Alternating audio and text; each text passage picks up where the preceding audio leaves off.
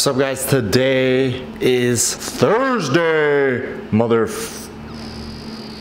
not gonna say it. So anyway, today's Thursday. Uh, loose plan that I had is Tuesdays and Thursdays. Will I wanted to either do a run or a swim, and then also some sort of Olympic weightlifting. Right now it's 12:30. The the pool opens at the high school that I used to go to, the Skyline Aquatic Center. It's a fire pool. The water's amazing. It's like it feels like you're jumping into the Caribbean when you get in the lane swimming pool. Yeah, we're gonna be meeting up with my boy Brandon who goes to the gym. He's trying to get big in CrossFit. He's trying to go to the games. He needs some help with his weightlifting, so he's been coming to the gym and he's been killing it. Uh, Eddie's at work today. I normally go with Eddie, but he's working and Brandon said he swims, so I was like, yo, let's meet up. So we're about to go meet up and I'm gonna do his workout. Now, that was the only thing I was planning on doing today. However, I do have to go back to work at three, uh, work being the gym. Schedule's a little crazy when coach is out of town. I'll get in more more into that later. We also have our weightlifting class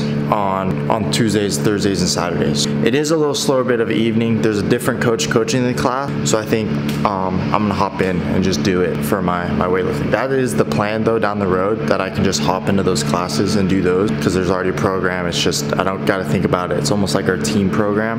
These small decisions like that, just to put in a little extra effort, is what I think is really helping me. And it's it's fun. It's fun to push myself, especially going into it with the mindset of like, oh, okay, you're tired, you swam, just see what you can do. You showed up, put in the effort, and that's all that matters. I'm gonna dip out so I'm not late, because I'm fucking late to everything I do, which is an awful thing. It makes me feel like an awful person. makes me feel selfish. I'm gonna be on time today. We're gonna head out. You know what else is selfish? Me cutting into the middle of the video for an ad read. But you know what can help work on yourself and other things like selfishness?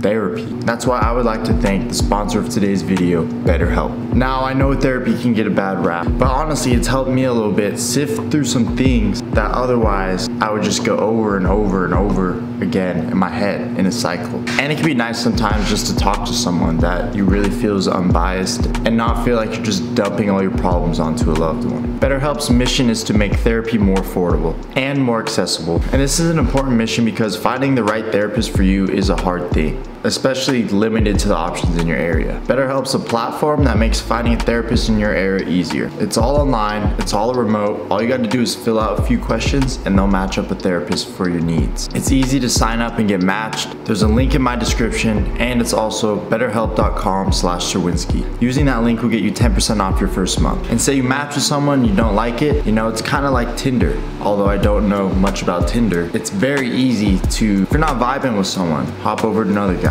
They have a bunch of options and it can help with sports, it can help with depression, anxiety, whatever you need, they have someone for you. So if you're struggling, it's always great to talk to someone. If your mental game's not on, then nothing's gonna be on. Invest in your head, consider online therapy with BetterHelp. Click the link in the description or visit betterhelp.com slash Thank you again to BetterHelp for sponsoring this video.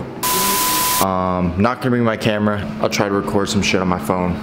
So, I got some goggles. They fucking suck. I got them for 10 bucks at Walmart. Then I saw some other ones like TJ Maxx for 10 bucks. That was Speedo brand. And these fog up, these leak. I mean, I'm not a good swimmer, but like, so it doesn't really matter. But, but yeah, real quick before we head out, back to what I was saying about if I hit like, it's all right, just show it up, do your best. If you hit your numbers, if you hit your numbers, great. If you don't, kill yourself about it. But basically like when I was weightlifting, I'd have such a huge pressure on me all the time to hit these numbers. And if like I didn't, then I'd be so upset about myself. And just some days you're not gonna have it. So to an extent, have that attitude, but don't let it become a crutch because at the end of the day, you have to remember weightlifting is something you do. It's not who you are. And just don't fall into that trap because it's only going, and that can go with any sport, going to lead to something not good. It's gonna lead to burnout. And I fell into that trap myself and we're working on it. So yeah, that was all. Uh.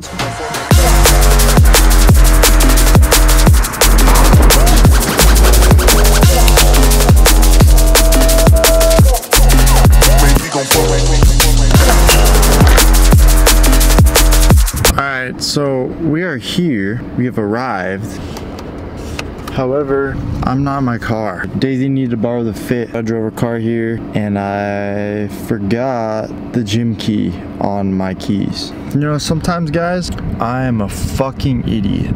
On Thursdays, no one really shows up at like right at open time, so that's a good thing. No, I wanted to, since we're in the car waiting, fuck, I gotta change my battery one second since I'm in the car waiting, I figured I'd just talk about this a little bit. So yeah, besides YouTube, I also work at the gym. Now, what I do is I, I do help out with coaching, but primarily I do all the back end stuff. You know, I'm handling, I'm handling client relationships, I'm handling like HR, I help with the sales, of memberships and I even do marketing. And I'm not gonna lie marketing is fucking hard. So no yeah it's been it's been great. Getting the experience of helping to build something in an industry and at a place I really care about you know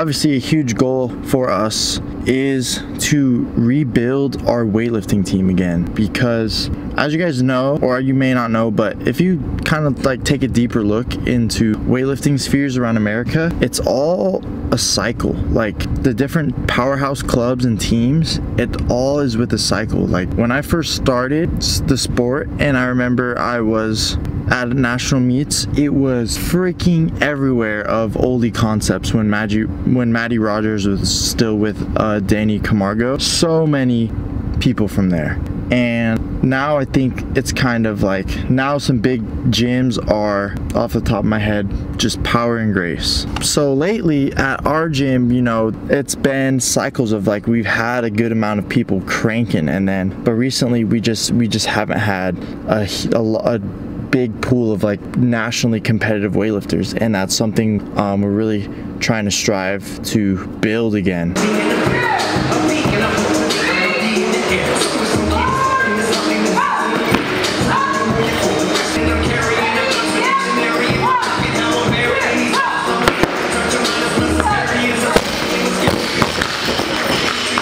Building building a brand so when someone hears performance one they know exactly what it is. That's that shit fires me up. They know branding to me is when you hear something and it gives you a feeling and it gives you sort of like you know which i think is dope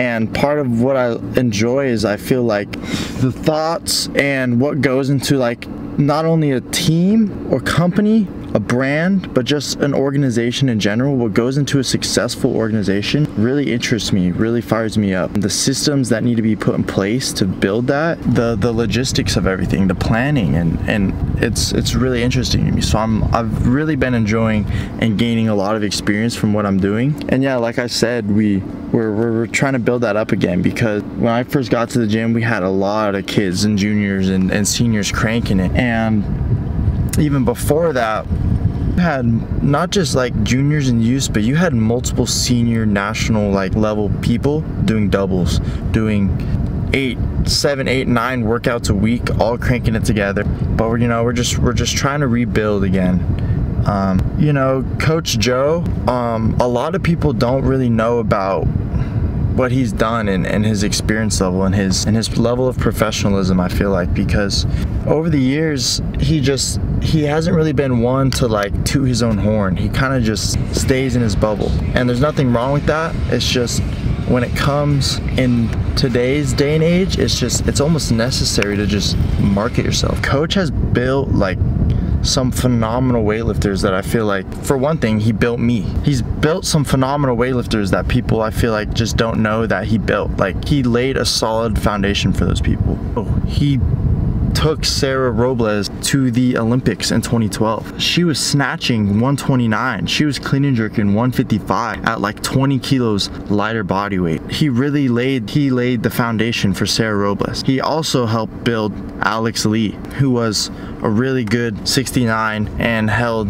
the uh, American snatch record for a while, multiple time Pan Am world team member. You could look it up. There's like there's old videos of them. And some people that were around in the era are still here and they and they talk about like just the grittiness you know? So I don't know where I'm going with this but yeah. So I guess yeah that's what I'm doing. That's what I'm doing at the gym. That's the part of my other part of my life that I've been working on besides this. Yeah if you live in Arizona you want to start cranking it let us know. Come on down. We're we're looking for fucking dogs right now